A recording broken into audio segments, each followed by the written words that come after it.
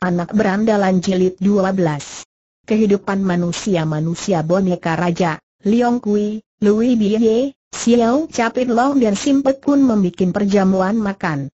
Mereka masih bercakap-cakap.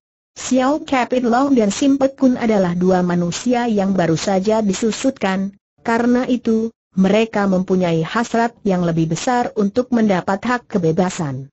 Memandang kepada si Raja Boneka, Xiao Capit Long berkata, kita harus berusaha melarikan diri kesempatan untuk melarikan diri masih ada, kata si Raja Boneka. Oh, sepasang sinar mata Xiao Capit Long memancarkan harapan hidup. Bagaimana si Raja Boneka memberi keterangan, seseorang yang bisa menjebolkan ilmu sihir Tian Kong Chu, kita bisa mendapat kebebasan hak hidup yang sempurna, Menjebolkan ilmu sihir Tian Kong Chu bertanya Xiao Capet Long. Siapa yang bisa merusak ilmu sihir Tian Kong Chu? Aja boneka menghela napas, ia berkata, kita harus menggunakan kecerdikan otak kita, harus bisa berusaha, berusaha? Bagaimana kita harus berusaha? Raja Boneka berkata, ilmu sihir, tidak jauh berbeda dengan ilmu kepandaian silat, sampai di mana tinggi pun ilmu itu, tentu mempunyai batas tertentu. Seseorang yang mempunyai batas tertentu, seseorang yang mempunyai ilmu silat tinggi, bukan berarti menjadi tokoh silat tanpa tandingan. Demikian pun keadaan ilmu hitam, betapa hebat ilmu sihir Tian Kong Chu, bukan berarti tidak ada tandingan. Di antaranya terdapat juga kelengahan-kelengahan, Sengaja Tian Kong Chu memberi kesempatan dan memberi kebebasan untuk mencari dan merusak di mana letak kunci kelengahan itu, Tian Kong Chu sengaja bertanya Xiao Capet Long. Tian Kong Chu membuat satu sayembara, berkata Raja Boneka. Sayembaranya seperti ini, dia senang mendapat tandingan-tandingan kuat, sengaja menggunakan teh ajaibnya, menyusutkan kita, mengkerdilkan kita, tapi sengaja membuat satu kelengahan, dikatakan ada sesuatu yang bisa merusak ilmu gaib itu. Kalau kita berhasil menemukan sesuatu, maka reaksi minuman ajaib pecah. Kita bisa membesar, dan manusia yang normal lagi, sayembara ini dikeluarkan oleh Tian Kong Chu bertanya Xiao Long, ya, berkata si Raja Boneka.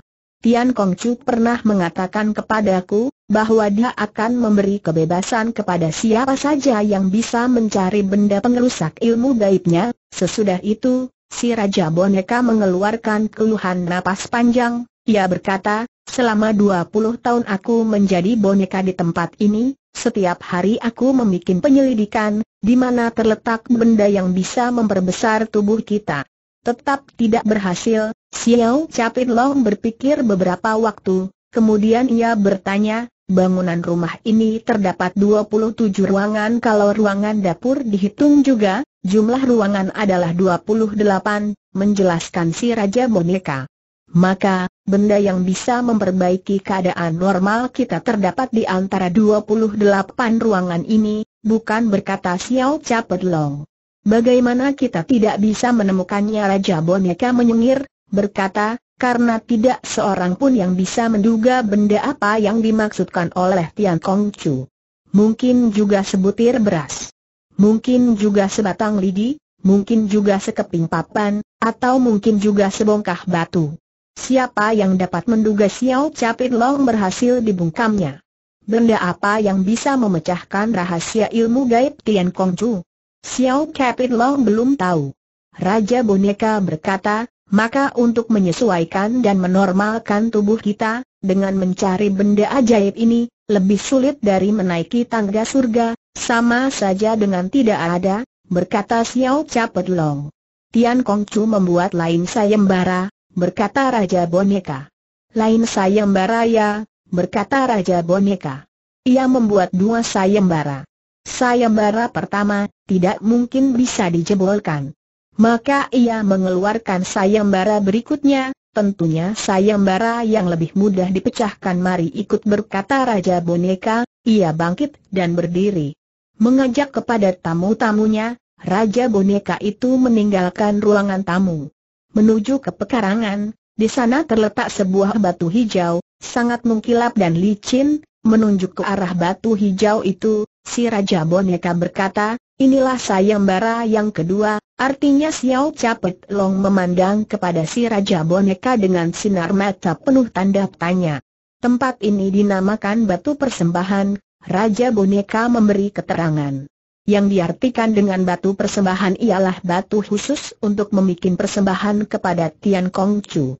Kalau ada seseorang yang bersedia mempersembahkan benda berharga, maka ia bisa membebaskan dan menghidupkan kembali, menghilangkan surut boneka, sesudah itu, Raja Boneka menatap Xiao Capet Long lama, ia bertanya, benda apakah yang paling berharga bagimu? Xiao Capet Long tidak menjawab pertanyaan itu, ia balik bertanya, benda berharga apa yang Chung Chu miliki? Bendaku yang berharga adalah jiwa, berkata si Raja Boneka. Benda yang paling berharga bagi semua orang adalah jiwa masing-masing. Semua manusia boneka yang hidup di sini sangat egoistis. Semua sayang kepada jiwanya sendiri. Tentu saja tidak mau mengorbankan dirinya untuk diserahkan kepada Tian Kongcu, sayembara Tian Kongcu yang kedua juga tiada arti. Apa guna bagi para manusia boneka tersebut? Kalau mereka diharuskan menyumbangkan jiwanya di atas batu pengorbanan, sesudah mereka mati. Apa artinya bangkit dan hidup menjadi mayat manusia normal? Tian Kongcu betul-betul seperti iblis jejadian. Entah dengan cara bagaimana, si Raja Boneka bisa menghubungi Tian Kongcu. Yang satu kecil, yang lain besar. Untuk membebaskan orang-orang yang sudah dikerdilkan oleh Tian Kongcu, untuk membuat normal kembali tubuh yang sudah disusutkan menjadi tubuh boneka itu, Tian Kongcu membuat dua sayembara. Sayembara untuk melepaskan ilmu sihir dan ilmu gaibnya. Sayembara yang pertama adalah menemukan rahasia anti sihir, benda itu terdapat di salah satu tempat di antara 28 ruangan yang berada di dalam istana boneka.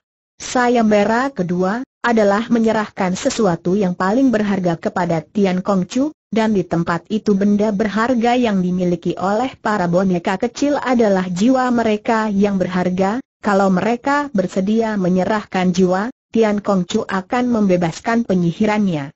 Dua jalan ini sama-sama jalan buntu. Bagaimana bertanya si Raja Boneka? Nonsens berkata Xiao Capet Long. Kedua sayembara itu sama saja dengan tidak ada.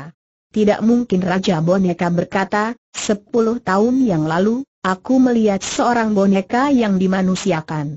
Demikian kejadiannya, sepasang suami istri telah diboneka hidupkan oleh Tian Kong Chu. Tinggal di dalam istana boneka. Mereka saling cinta, kasih mengasihi, tentu saja mereka sayang kepada jiwa sendiri, tapi mereka lebih sayang kepada jiwa kekasihnya.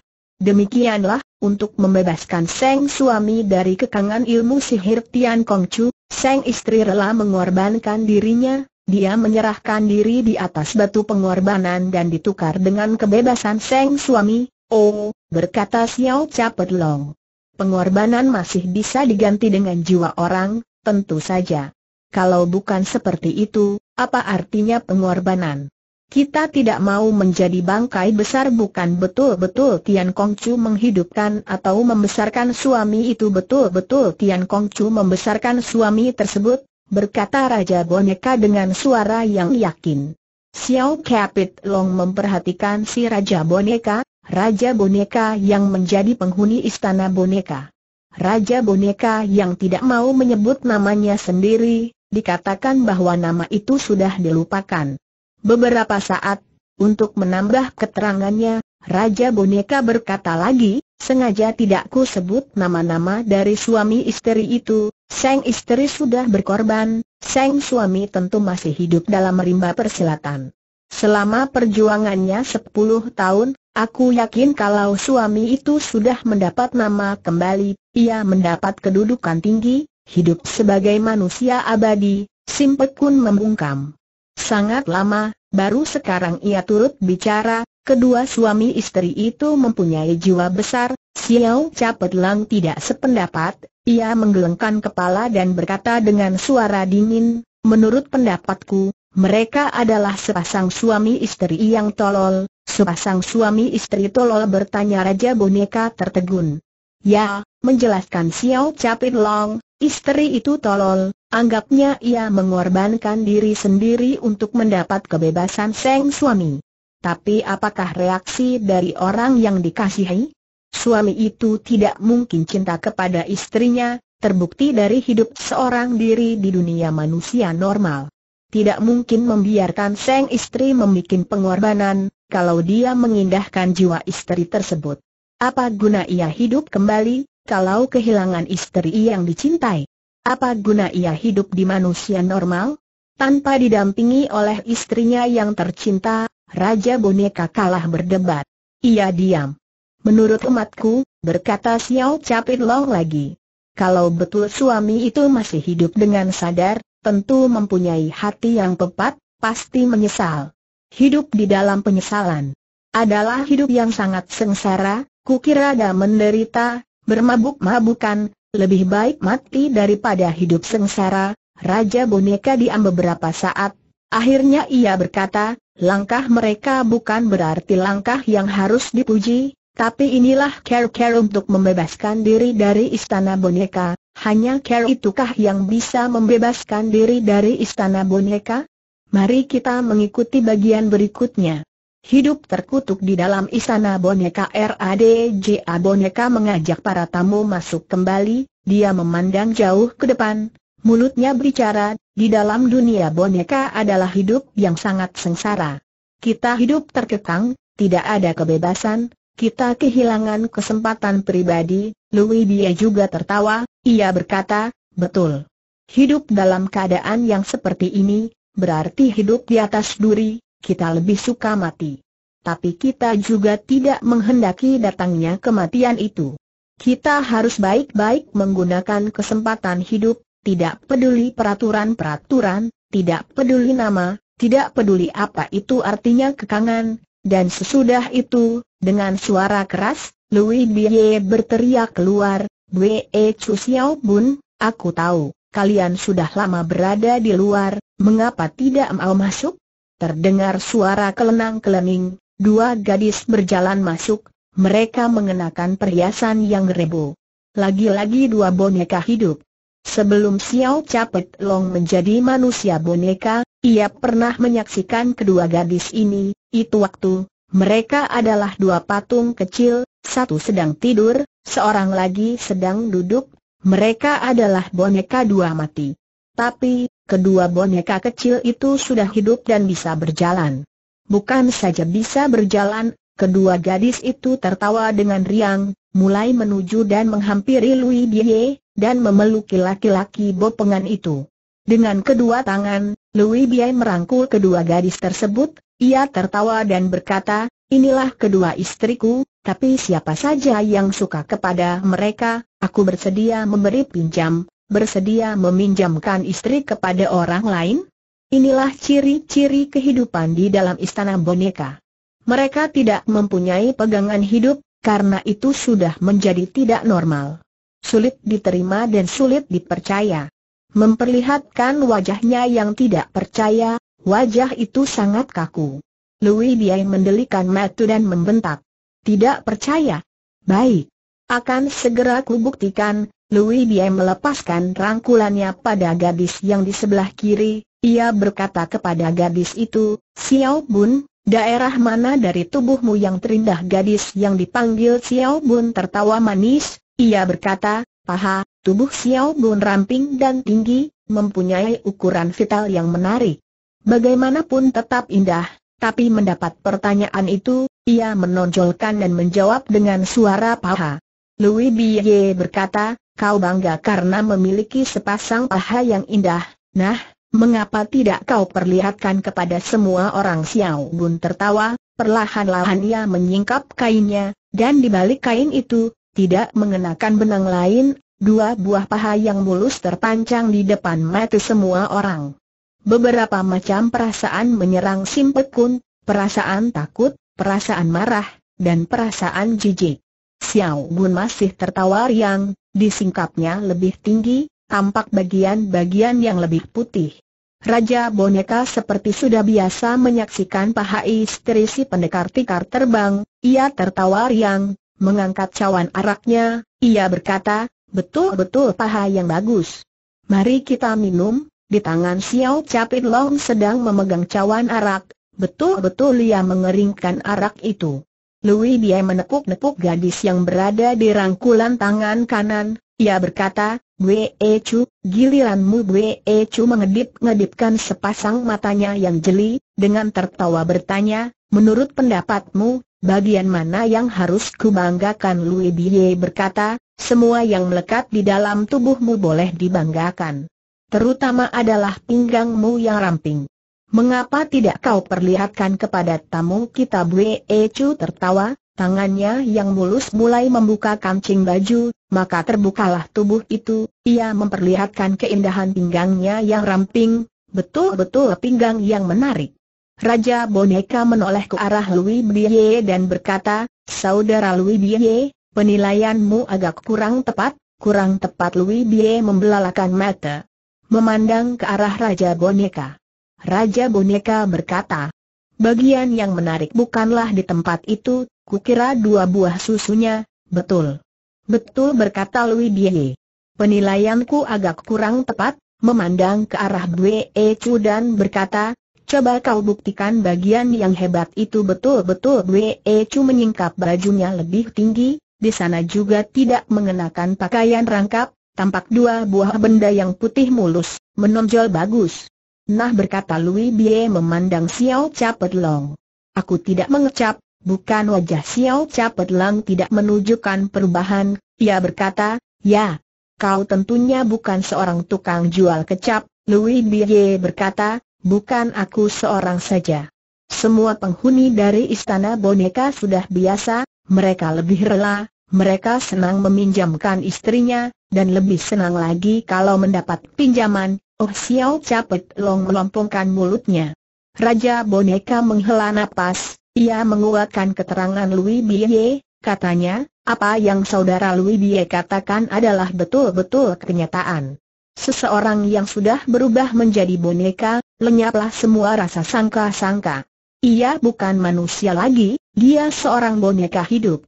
Boneka tidak mengenal malu, karena itu apa pun bisa saja dilakukan, Ditatapnya Xiao Capit Long dan Sim Pek Kun, beberapa saat kemudian ia berkata lagi, Yai berdua baru saja datang.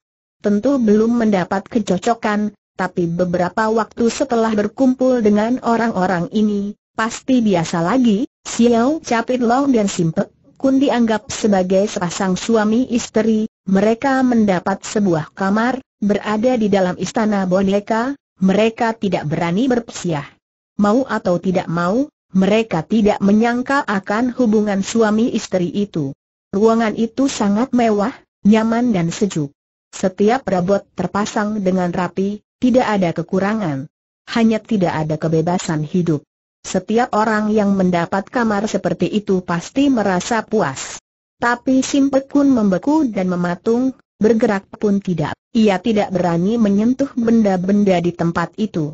Ia seperti mendapatkan dirinya di dalam sesuatu ruangan perdukunan, segala sesuatu serba ajaib, segala sesuatu serba ilmu hitam, penuh tenung-tenung dan ilmu sihir.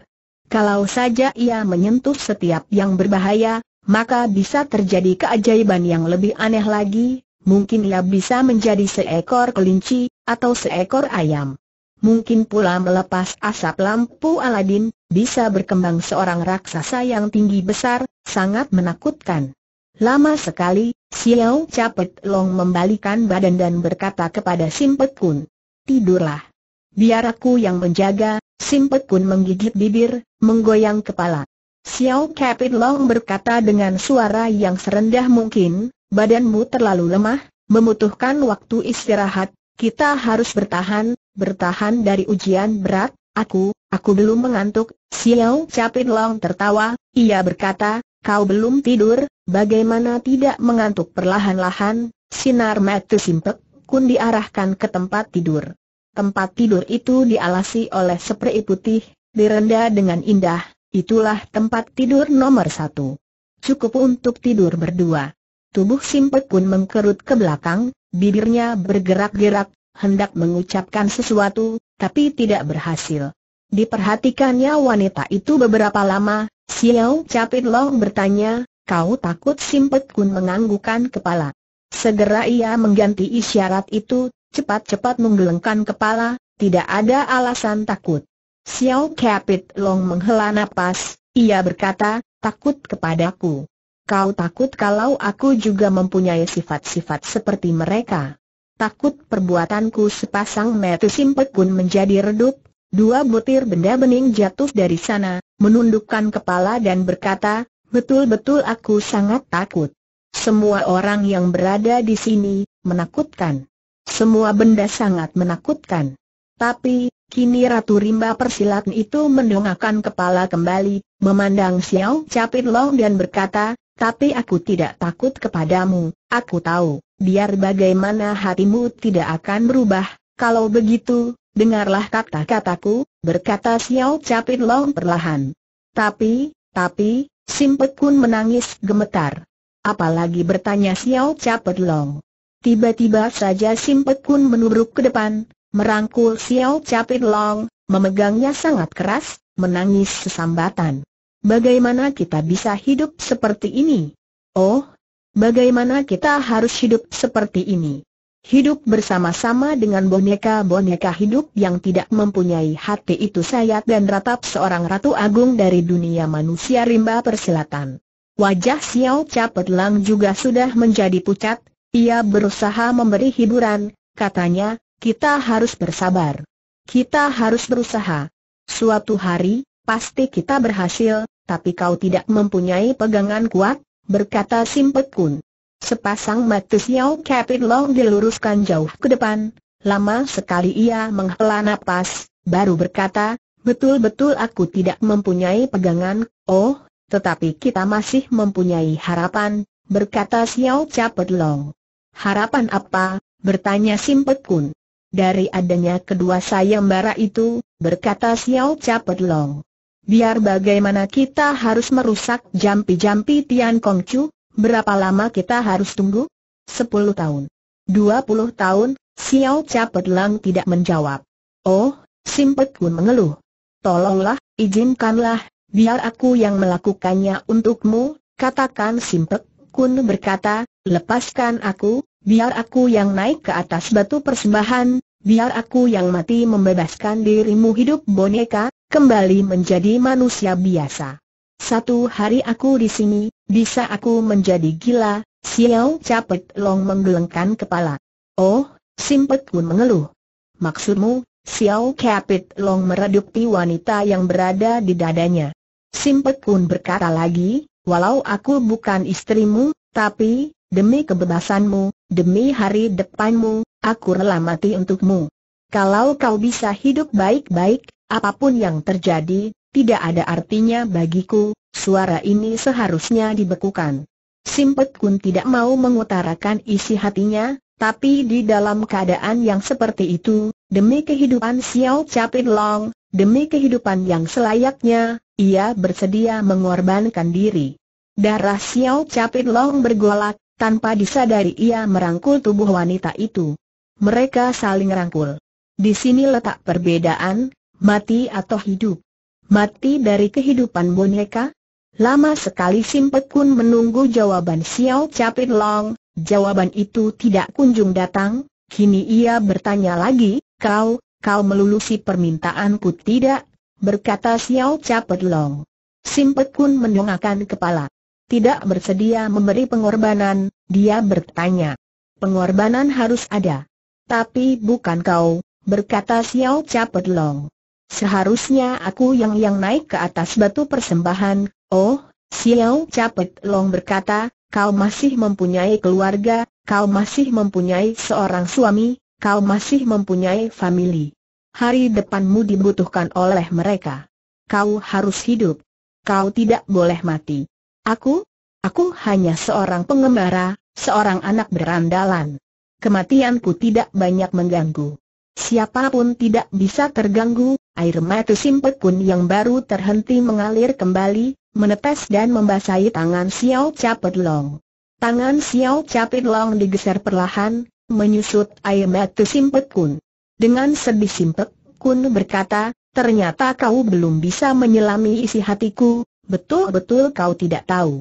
Mengapa kau mengatakan tidak ada seseorang yang memberi kasih, kalau kau mati bagaimana aku bisa, aku tahu, berkata Xiao Capit Long, ia mengelus-elus nyonya itu.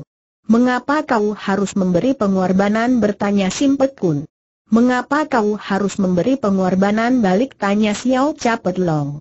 Demi kebahagiaanmu di kemudian hari, kita akan berdaya upaya, berkata Xiao Capit Long. Aku tidak membiarkan kau naik ke atas panggung pengorbanan, siapa yang naik? Kau. Kau hendak berkorban. Tidak, aku tidak membiarkan hal itu terjadi, menjerit Simpet Kun. Aku juga tidak mengizinkan kau naik ke atas batu persembahan, berkata Xiao Capet Long. Mungkinkah, mungkinkah kau rela hidup seperti ini sementara, kita harus berani memikul keadaan, kepala Simpet Kun ditundukkan ke bawah, Perlahan-lahan ia berkata, berada di samping dirimu, hidup di acerat pun aku sanggup. Tetapi, tempat ini lebih kejam dari dunia acerat. Lebih menyeramkan dari acerat, kita akan mencari jalan lain. Bukan care pengorbanan yang seperti itu, care pengorbanan bagaimana jangan kau mencoba untuk mengorbankan diri, berkata Xiao Capet Long. Itu waktu, kita lebih sengsara lagi, Simpet Kun berkata, maksudmu, Tian Kong Chu bisa menelan janji kukira, ini hanya berupa sebuah perangkap. Dia menghendaki kematian, tapi kematian yang disertai dengan siksaan-siksaan berat. Ia hendak mempermainkan orang. Mempermainkan seperti kucing mempermainkan anak tikus, dia seorang manusia gila, Xiao Capet Long berkata, dia memang manusia gila. Dia sedang memasang perangkap, kalau kita terlalu sayang pada jiwa, rela mengorbankan orang yang dikasihi, meminta memohon pengampunannya, bukan saja tidak memberi kebebasan, bahkan lebih daripada itu, kita menjadi cemoohan orang, tapi ini hanya berupa pikiranmu, bukan simpet pun masih mengharapkan sesuatu harapan. Xiao Capit Long berkata, aku yakin bahwa Tian Kong Chu itu seorang sinting. Dan aku juga meragukan keterangan si Raja Boneka. Boleh kita bayangkan, seseorang yang mau hidup sendiri rela mengorbankan istrinya, bukankah orang ini seorang yang egoistis? Kalau dia egoistis, seharusnya ia rela menerima pengorbanan itu. Kalau dia seorang yang sangat mengasihi istrinya, tentu tidak membiarkan istri itu menjalani pengorbanan. Simpet Kun berdiam beberapa saat, lagi-lagi ia mengeraskan pegangan Xiao Capit Long, ia berkata, kalau sampai terjadi putus harapan, lebih baik kita mati bersama, kematian bukanlah sesuatu yang diharapkan. Tapi di saat menjelang jalan-jalan buntu, kecuali jalan kematian itu, tidak ada jalan yang lebih baik. Kepala Simpet Kun disandarkan ke pundak Xiao Capit Long, ia berkata sayu, entah bagaimana pikiranmu, yang lebih baik, kita mati bersama, belum waktunya mati, berkata Xiao Capet Long. Harus menunggu kapan lagi kita harus berusaha, sesuatu betul-betul tidak mempunyai harapan, apa boleh buat. Simpet Kun berkata, di dalam penilaian Tian Kong Chu, kita ini adalah sebangsa semut atau belalang kecil.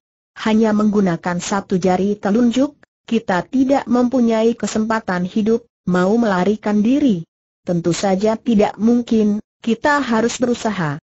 Untuk melarikan diri, aku harus membuat persiapan-persiapan. Persiapan yang pertama, aku harus menyembuhkan luka-luka dalamku.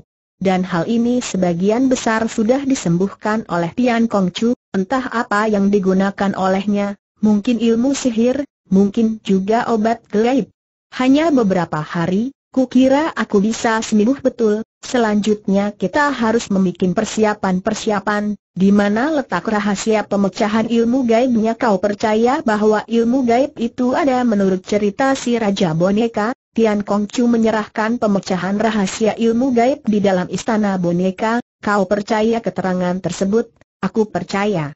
Setiap orang yang menganggap dirinya itu pandai, bisa saja mempunyai kelemahan-kelemahan, Di sinilah kita harus mencari kelemahan Tian Kong Chu, ilmu gaib apa yang digunakan olehnya belum tahu. Harus kita selidiki perlahan-lahan, sesudah itu aku yakin. ada sesuatu kelemahan yang tidak mudah ditemukan. Kelemahan inilah yang harus kita pecahkan, kau percaya kepada obrolan si Raja Boneka Xiao Capet Long menganggukkan kepala dan berkata, setiap orang itu mempunyai cara caranya tersendiri. Seorang ahli judi bisa membanggakan kepandaiannya, ia mengharapkan seseorang yang lebih hebat untuk menandingi dirinya, problem yang dianggap paling rumit. Maka aku hendak mengguntung, ilmu silat macam apa yang digunakan Tian Kong Chu kepada kita inilah yang membingungkan berkata Xiao Capet Long. Ilmu gaib apa yang digunakan kepada kita sungguhkah ada ilmu gaib yang bisa menyusutkan seseorang menjadi sekecil boneka?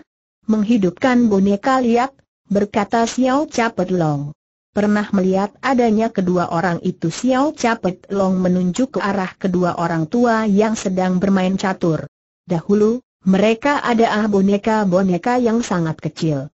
Sekarang, bentuk ukuran tubuh mereka sama besar dengan gedak perawakan Xiao Capet Long dan Simpet Kun. Perubahan yang sangat tidak masuk akal. Tapi sudah terjadi di depan mata. Keajaiban yang luar biasa. Simpet Kun menolehkan pandangan matanya, kedua kakek itu sudah selesai menamatkan permainan mereka. Sedang makan dan minum-minum, kini mereka bercakap-cakap. Orang tua yang berbaju merah menarik si kakek berbaju hijau.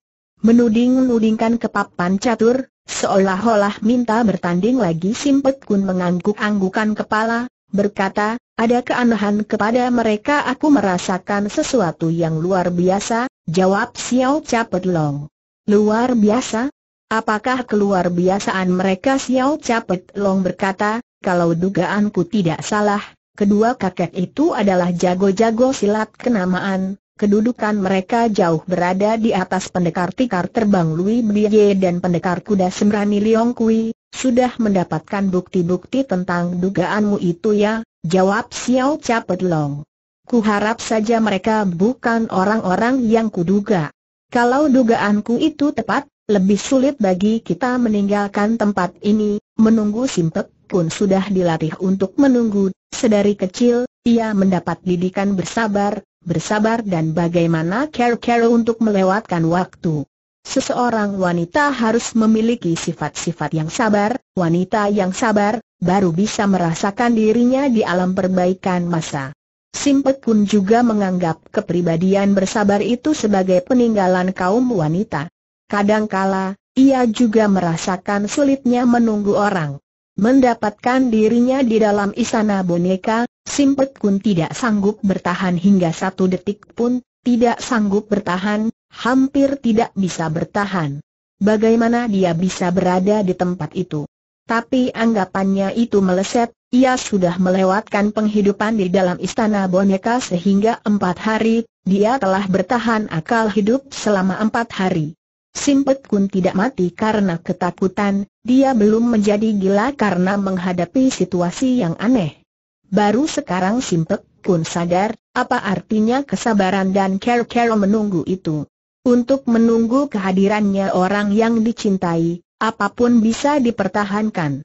Teristimewa untuk kaum wanita. Sebagian besar dari kehidupan kaum wanita bukan untuk diri pribadi, khusus untuk menyenangkan kaum laki-laki, khusus untuk menyenangkan orang yang harus dicinta, seorang suami misalnya, atau putra-putri mereka. Empat hari Simpet Kun telah duduk di dalam istana boneka, dan empat hari itu dilewatkan cepat pula. Simpet Kun mendapat pengalaman baru, bagaimana dia harus menghadapi situasi yang seperti itu. Tanah yang digunakan oleh istana boneka berbentuk empat persegi, Bangunan-bangunan istana itu agak mirip dengan istana Suhapuah di kota Pakia. Begitu melangkahkan kaki, memasuki pintu besar, melewati lorong panjang, di sana terdapat aula. Di belakang aula terdapat pekarangan, pekarangan itu boleh disebut juga sebagai taman. Di kedua pekarangan terdapat dua baris bangunan-bangunan kamar. Bangunan yang di bagian belakang, khusus digunakan untuk keluarga Raja Boneka beserta selir-selirnya yang dicinta. Raja Boneka adalah tuan rumah dari Istana Boneka. Di semua itu terdapat ruangan-ruangan, khusus untuk para budak dan tukang masak. Louis Bie menetap di barisan ruangan timur bersama-sama dengan kedua nyonyanya dan empat budak pelayan mereka, rombongan si pendekar tikar terbang yang sudah diboneka hidupkan menggunakan empat ruangan kamar. Dua ruangan kamar di sebelahnya tersedia untuk pendekar kuda sembrani Liong Kui. Sifat-sifatnya Liong Kui agak aneh, tidak berminat kepada wanita cantik, juga tidak mempunyai kesenangan menenggak arak. Hobinya hanya makan, makan besar. Di saat Liong Kui melahap makanannya, ia tidak melihat care-care memakan, ayam atau bebek, dimakan juga, enak atau tidak, masuk ke dalam mulutnya. Makan. Moto semboyan hidup Liong Kui adalah mengisi perut. Care caranya itu yang suka doyan makanan itu bukan berarti menambah daging, semakin banyak ia menjejal dirinya, semakin kurus pula badan si muka kuda. Demikian ciri-ciri Liong Kui. Berbeda dengan Liong Kui, Louis Bie mempunyai kesenangan pip licin. Dia mempunyai dua orang istri, walau istri itu bisa dipinjamkan kepada laki-laki lain, namanya tetap Nyonya Louis Bie. Kecuali mempunyai dua orang istri, Louis Bie juga memelihara empat gadis pelayan, namanya gadis pelayan, kadang kala kena giliran juga. Salah satu dari keistimewaan rumah istana boneka adalah kebebasan seks yang berlebih-lebihan. Karena itu, Louis Bie bebas memilih wanita yang disukai olehnya. Walau telah mendapat berkah dua orang istri dan empat dayang, nafsu Louis Bie belum terpuaskan kadang kala ia menggilir ke kamar lain, tidak adanya peraturan-peraturan keluarga, banyak memberi kelonggaran kepada si pendekar boneka. Demikian ciri-ciri Louis Bie. Kecuali Louis Bie dan Liong Kui, di dalam istana boneka itu masih terdapat banyak manusia-manusia kecil yang hidup, di antaranya terdapat juga dua kakek tua misterius itu. Dua kakek tua yang kerjanya hanya bermain catur. Berbeda dengan kesenangan Louis Bie dan Liong Kui, kedua kakek aneh itu selalu duduk di depan papan catur, sedari pagi sehingga sore, dari sore sehingga malam, kadang-kadang main sehingga pagi pula. Berapa babak permainan yang sudah diselesaikan oleh kedua kakek itu? Tidak ada orang yang tahu. Menurut cerita, kedua kakek itu menempati dua ruangan di antara lima ruangan yang ada. Xiao Capit Long sudah mulai memperhatikan sesuatu, termasuk Louis Bie, Liong Kui, dan kedua kakek aneh tersebut. Kalau Xiao Capet Long bisa menyaksikan Louis Bie memasuki kamarnya, bisa melihat Liong Kui memasuki kamarnya, Xiao Capet Long belum pernah melihat kedua kakek main catur memasuki tempat tidurnya, Xiao Capet Long tidak tahu, kamar-kamar mana yang digunakan oleh kedua kakek aneh itu. Xiao Capet Long dan Simpet Kun mendapat satu kamar, ruangan ini terletak di bagian barat. Xiao Capit Long sedang dipaksakan menjadi seorang suami. Sedang Simpet Kun dipaksakan menjadi istrinya. Kalau tidak ada peraturan gila-gilaan yang memberi kebebasan seks di dalam istana boneka, Simpet Kun bisa menuntut kamar yang lain. Tapi Raja Boneka pernah menuturkan pergaulan seks bebas di tempat tinggalnya. Karena itu, Simpet Kun lebih suka memilih Xiao Capet Long. Setiap waktu mau makan, pasti ada pelayan yang mengirim antaran. Sayur mayur di dalam istana boneka cukup hebat, cukup besar tidak percuma mendapat julukan istana. Segala kepuasan makanan tidak pernah berkurang. Bukan makanan-makanan saja yang tersedia, pasti disertai dengan arak. Cukup banyak, arak-arak itu bisa memabukkan tujuh orang. Di dalam keadaan mabuk, orang bisa melupakan segala sesuatu. Xiao Capit Long dan Simpet Kun disuruh bermabuk-mabukan. Di dalam bangunan aneh istana boneka, sulit menemukan orang yang berada di dalam pikiran sadar. Selama empat hari itu, Xiao Capit Long memperhatikan gerak-gerik para boneka, boneka yang bisa hidup dan berjalan di dalam lingkungan tertentu. Tapi belum pernah melihat raksasa Tian Kong Chu atau raksasi Siok Siok. Kedua orang yang sudah menyihir mereka. Xiao Capet Long tidak percaya kepada tahayul, tapi kenyataan telah berada di ambang mata, dia menjadi susut seperti jari. Apa yang dikatakan oleh Raja Boneka cukup beralasan. Kalau saja para boneka itu tidak melanggar daerah dua terlarang, kebebasannya tidak pernah diganggu, ke mana mereka suka, apa yang hendak dikerjakan, belum pernah mendapat gangguan. Sedari itu waktu, dari pertemuannya dengan Raja Boneka, Xiao Capet Lang tidak pernah mendapat kesempatan bertemu dengannya kembali. Menurut cerita dua penghuni lama, Raja Boneka jarang menampilkan diri, jarang bergaul dengan mereka. Kecuali pertemuan pertama kali. Tentu saja, Raja Boneka mendapat selir dua boneka yang cukup banyak, kalau saja satu malam satu, care dua bergilir itu pun sudah cukup merepotkannya. Setiap hari kerjanya Xiao Capit Long hanya berjalan-jalan. Sesudah makan pagi ia berjalan dan memperhatikan ruangan-ruangan dan kamar-kamar itu. Membiarkan Simpek Kun di dalam kamar. Xiao Capit Long seperti tertarik dengan segala sesuatu yang ada di dalam istana boneka, termasuk semua boneka-boneka hidup. Kepada boneka-boneka hidup itu, Xiao Capet Long menganggukkan kepala, sebagai perkenalan dan penghormatan. Cepat sekali, Xiao Capit Long kenal banyak orang. Di dalam istana boneka, ada sesuatu yang agak menyimpang, itulah jumlah laki-laki yang sedikit dan jumlah wanita yang terlalu banyak.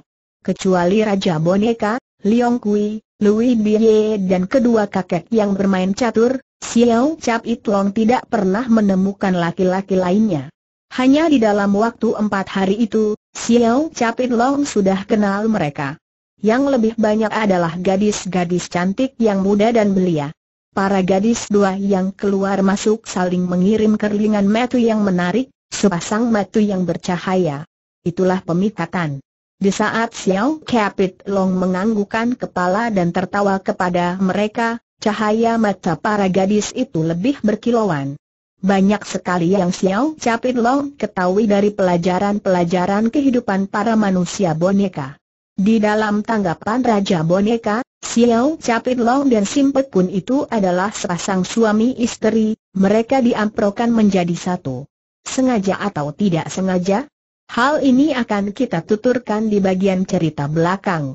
Seperti apa yang Louis Bie katakan, di dalam istana boneka, mereka bisa mendapat hubungan seks yang bebas, karena itulah yang membuat pikiran Simpet Kun tertekan, Xiao Capet Lang tidak pernah berbuat kurang ajar. Hati Simpet Kun agak tenteram. Kalau Xiao Capit Long keluar dari kamarnya, segera Simpet Kun menutup rapat-rapat pintu itu. Simpet Kun tidak takut kesepian, dia takut kepada wajah dua yang seram, khususnya wajah Lui Bia jiwa Simpet Kun terlalu tertekan, tertekan karena dia hidup berada di dalam alam boneka hidup. Hari berikutnya, hari kelima dari terjadinya mereka sebagai boneka hidup.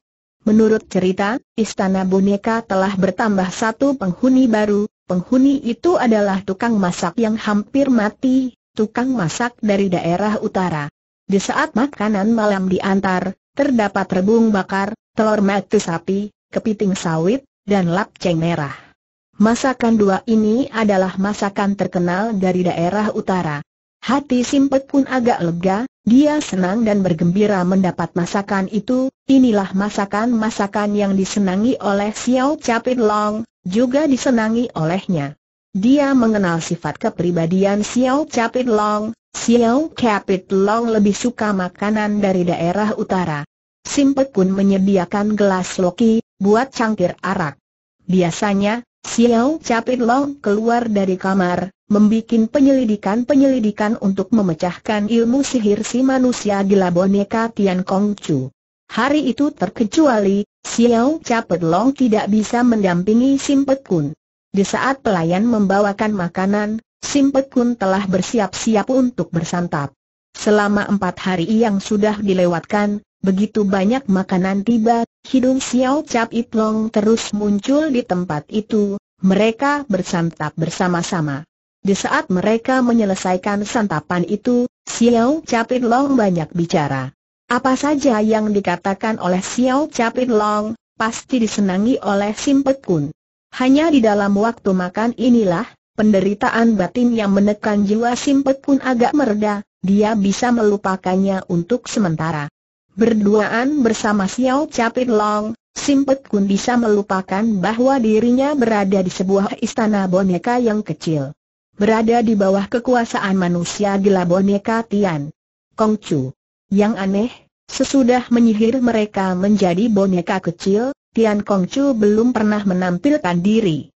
Kalau saja hal itu bisa berjadi, betul-betul sangat menyeramkan, di atas kepala mereka tampil satu wajah raksasa. Raksasa yang hebat dan besar. Pikiran Simpek pun segera melayang ke arah Xiao Capit Long, hari ini terkecuali, Xiao Capit Long belum muncul di depannya. Gadis pelayan sudah meninggalkan kamar, meninggalkan makanan dua yang tersedia. Simpet pun sudah mengatur sesuatu, menunggu kembalinya Xiao Capit Long. Tapi Xiao Capet Long yang ditunggu tak kunjung datang. Simpet pun berjalan bolak-balik, hilang sabar, dia duduk di meja makan. Simpet pun sudah biasa menunggu, kini ia harus menunggu kembalinya Xiao Capet Long. Xiao Capet Long belum kembali. Sayur di meja mulai menjadi dingin. Xiao Capet Long yang ditunggu belum tampil juga. Keadaan yang seperti ini bukan dirasakan satu kali, Simpet pun sudah biasa. Biasa di dalam arti semasa menjadi manusianya. Terbayang kembali kenangan sesudah pernikahan, dua bulan sesudah Simpek Kun kawin dengan Lian Sengpek, sering Simpek Kun ditinggal seorang diri. Kadangkala, dia harus menungkuli sayur-sayur yang panas dan akhirnya menjadi dingin. Dipanaskan lagi, dan dingin kembali. Lian Sengpek belum juga kembali, akhirnya Simpek Kun makan tanpa didampingi oleh Seng suami. Dia makan seorang diri. Itulah kenangan lama, kenangan Simpek Kun bersama Lian Sengpek. Di dalam satu bulan, hampir lebih dari 25 hari, Simpek Kun harus bersantap seorang diri.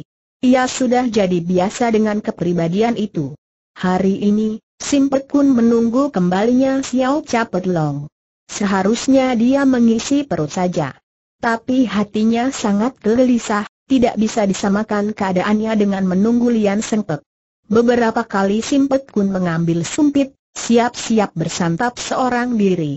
Hal itu bisa saja dilakukan, kalau Lian Sengpek tidak kembali, Simpet Kun tidak sanggup menahan lapar. Tapi menunggu Xiao Capit Long, Simpet Kun tidak bisa disamakan dengan menunggu Lian Sengpek, dia meletakkan kembali sumpit yang diambil tadi, gagal makan. Menengok ke arah pintu, Bayangan Xiao Capit Long belum tampil di tempat itu. Belum pernah ia menunggu Xiao Capit Long, mengapa hal ini bisa terjadi? Hari apakah hari ini? Mungkinkah terjadi sesuatu yang menyeramkan? Bulu tengkuk Simpet pun bergemerinding, bangun berdiri. Di dalam istana boneka, di dalam sehirannya si manusia gila boneka Tian Kongcu, segala sesuatu itu bisa saja terjadi. Simpet pun sedang membayangkan wajah Xiao Capit Long, bagaimana laki-laki menempur dengan bayangan iblis yang menakutkan, hampir ia berteriak. Baru kini dirasakan oleh Simpet Kun, betapa berat kasihnya kepada Xiao Capit Long, sedikit pun tidak bisa berpisah dengan laki-laki bermata besar itu. Makanan-makanan di meja sudah menjadi dingin. Xiao Capit Long belum juga datang.